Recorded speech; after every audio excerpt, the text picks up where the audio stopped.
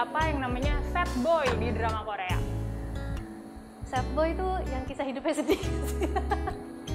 Biasanya yang cintanya Kayaknya yang ini nggak sih yang kisah cintanya selalu kalah sama melitnya nggak? Bener nggak? Kayak gitu nggak sih? Nah benar kayak gitu. Terus uh, ada yang tahu nggak? Yang kamu tahu siapa yang sad boy di drama Korea yang pernah kamu tonton? Kayaknya aku ngerasa jumpalnya 1988 tuh salah satu sad boy yang paling terkenal di Korea deh. Dia masuk sad boy gak sih? Masuk kan? Ini sedih banget loh. Sheila tahu nggak apa sih second lead syndrome? Ini kalau nggak salah uh, sindrom di mana kita lebih suka sama second leadnya daripada male leadnya.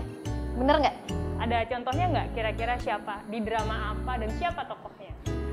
Kayaknya yang langsung kepikiran sama aku karena ini tuh heboh banget di Indonesia sampai pada bikin kaos-kaosan tim-timan itu adalah Han Ji Pyong dari drama Startup. Itu udah paling langsung kepikiran sama aku ini adalah contoh second lead syndrome yang paling mentok.